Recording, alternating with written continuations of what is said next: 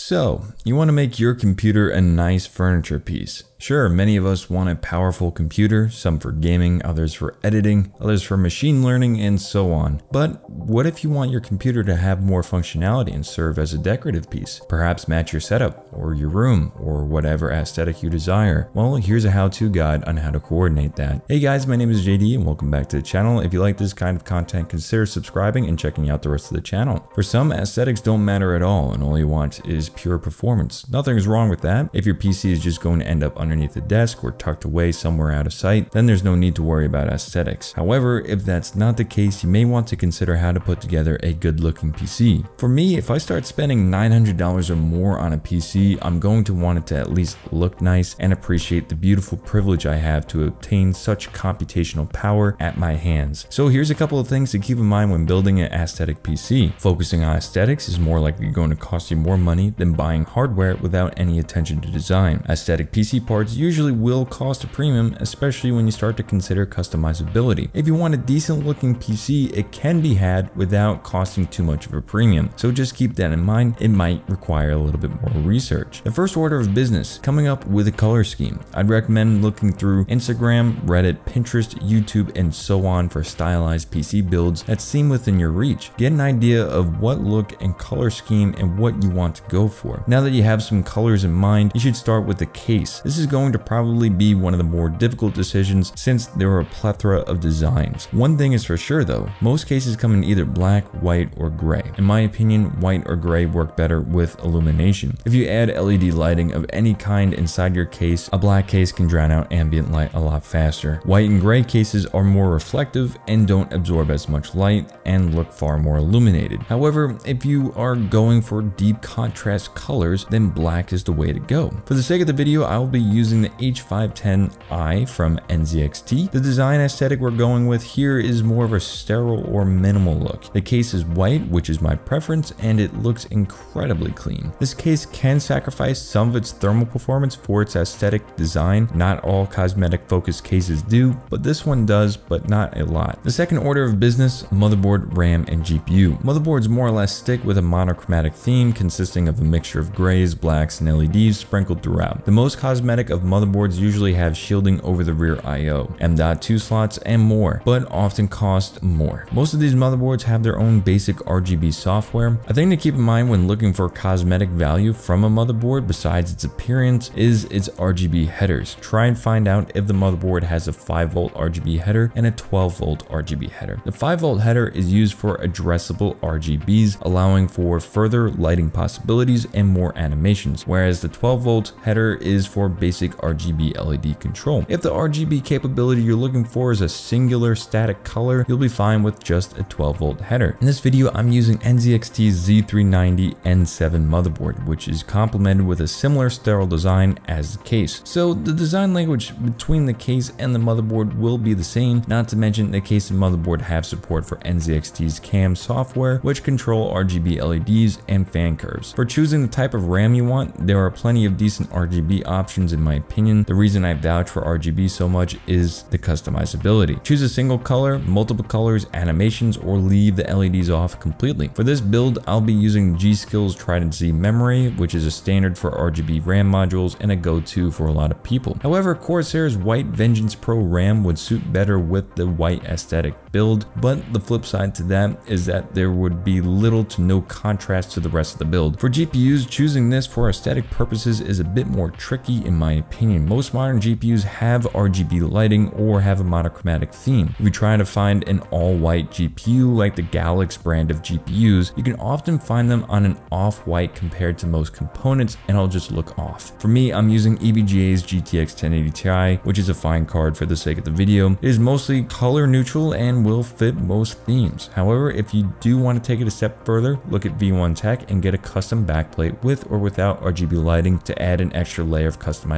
and cosmetic flair. Another component that can be often overlooked is the M.2 based SSDs. Some boards come with M.2 heat shields which fit in with the rest of the board in terms of appearance, but if you want something a bit more, you can look at the Asura Genesis, which is fantastic of an NVMe SSD with RGB LEDs built into it. Not to mention a 7 year warranty to carry along with it. I used this in my dual system PC build a little bit earlier and loved it. The third order of business, cooling appearance. Fans and CPU cooling is another aesthetic that can dominate your PC. If you decide to go with air cooling for your CPU, the cooler could be taking up a large amount of space and block the appearance of your RAM and parts of your motherboard. Now this can be an aesthetic choice if you choose it to be. For me, I'd choose water cooling for aesthetic purposes, but that's just me. Here I'm using the Corsair H115i, which again is RGB, but the pump looks great in my opinion and operates pretty quietly. It fits the overall theme well. If I was going for the same theme, but for an air cooler, I'd look towards Noctua's lineup of Chromax coolers or Deepcool's new Assassin 3 cooler, which is supposed to directly compete with the NH-D15 and the Alyte. There are a ton of fan options on the market and makes it really difficult to choose, but for this video, I'm staying within the same NZXT cam environment with the AER RGB fans. These are shaped well and perform well. Other decent RGB options include the Corsair LL fans and the Thermaltake Trio fans. For non-RGB variants, look to the Be Quiet Silent Wings 3 fans and Noctua's Chromax fans if you want to keep an aesthetic design without sacrificing any sort of thermal or noise performance. Essentially, I want to create two paths here, one for LED or RGB lighting and one without. Either way, I would recommend trying to keep the fans consistent throughout the build, however sometimes that can be difficult. The last order of business, cables and cable management. There are sites that allow you to fully customize sleeve cables which will certainly cost more, or a more budget-friendly option would be to find sleeved cables on Amazon in different color schemes. These pre-made sleeved cables are extensions, so keep that in mind when considering cable management. There's a good enough of variety for color schemes to match your build. Lastly, let's look at cable management. When you choose a case, try to find one with rubber grommets and a decent amount of room in the rear of the case. Try your best to organize and hide your cables. There's a few tutorials on YouTube already on how to organize cables effectively, so make sure to refer to those. For sleeved cables, you can find cable combs of specific color to match your color coordination even better. For the most part, they're pretty cheap unless you're buying aluminum ones. There's a couple things to keep in mind when coordinating your PC aesthetics. Sometimes the more aesthetic version is going to cost more. Cosmetics can often sacrifice functionality, more specifically PC cases do this often. Just make sure the thermal sacrifice isn't too much. RGB functionality is great for customization, however, it can get confusing between addressable RGBs and non-addressable RGBs, which motherboard software control to go with, or which brand of software you want to use, like Corsair iCUE, NZXT Cam, and so on. If you're on a budget, there are certainly budget cosmetic options at the sacrifice of customizability. This guide can't cover everything in depth, that video would be way too long. For a high level guide, hopefully this can help you on your PC building adventure. If you like what you saw here and want to see more, consider checking out the rest of the channel, subscribing for more. Also, all the products featured in the video will be listed in the description below. I'll catch you guys in the next one.